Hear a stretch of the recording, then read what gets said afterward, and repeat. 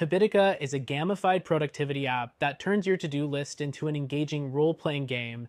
But before you dive in, here are 12 things you absolutely need to know to make the right decision. First, Habitica stands out by turning tasks into a quest system. Each completed task earns you experience points, gold, and even virtual items.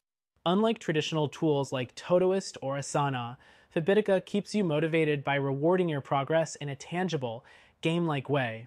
However, if gamification doesn't click for you, it might feel like unnecessary fluff rather than a helpful boost.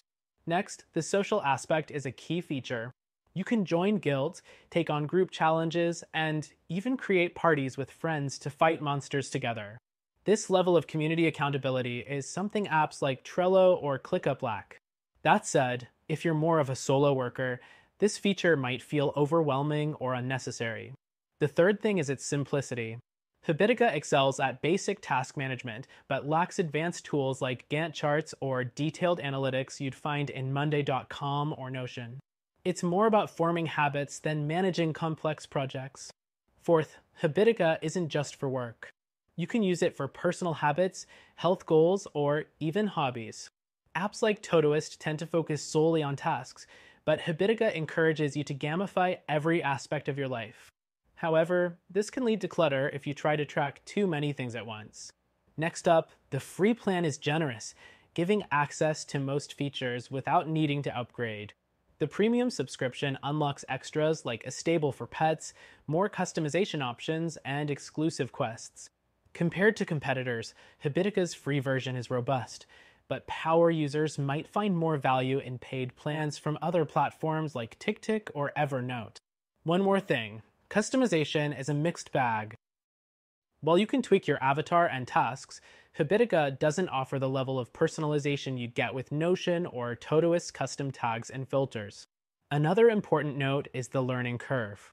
Habitica's RPG-like mechanics can be confusing at first, especially for those new to gamified tools.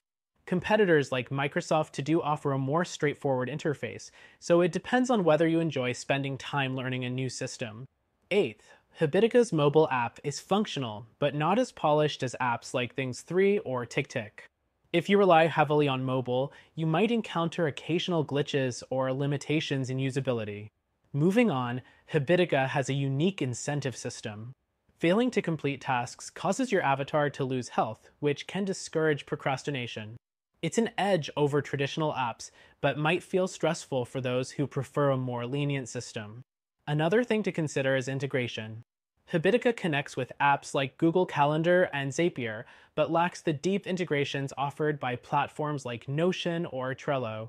If you need seamless connections for complex workflows, Habitica might not be enough. Then there's its community driven challenges. You can join or create challenges that align with your goals, offering a layer of accountability you won't find in apps like Asana. But keep in mind, not all challenges will suit your needs, so some trial and error is involved. Finally, Habitica shines for habit formation, but if you're looking for an all in one productivity solution, you might outgrow it quickly. It's fantastic for getting started or staying motivated, but advanced users might find more robust options elsewhere. Overall, Habitica is a solid choice for anyone who loves gamification and thrives on rewards and accountability. But if you're looking for a better all in one solution, check out our recommended productivity app that you can try for free.